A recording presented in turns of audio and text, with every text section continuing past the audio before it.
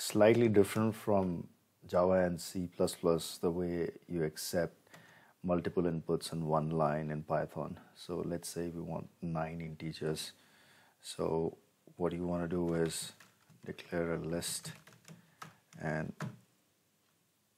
inside the list run a for loop.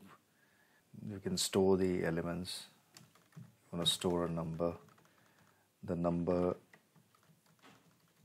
should be an integer for number in input. This input this input will be input this input will be in a single line. So you want to split this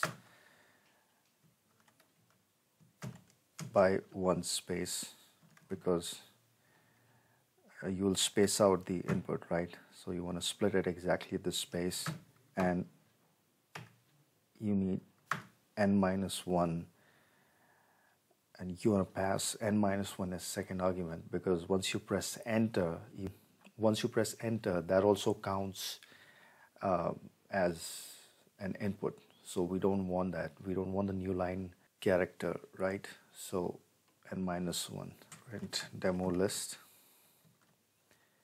Let's run this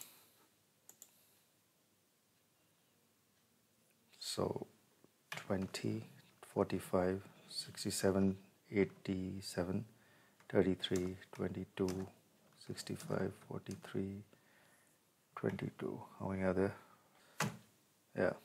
So it removed the spaces. Okay it split it will split exactly the space and it will store the rest of them as integers in the list